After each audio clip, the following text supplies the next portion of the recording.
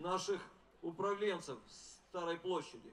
Нам говорят о том, что он у постоянно действующего совещания национально-патриотических сил России. нынешнего президента, но меня обзывают олигархом.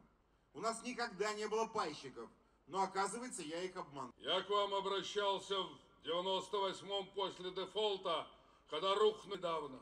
Если все это сложить, это надо минимум иметь 25 триллионов.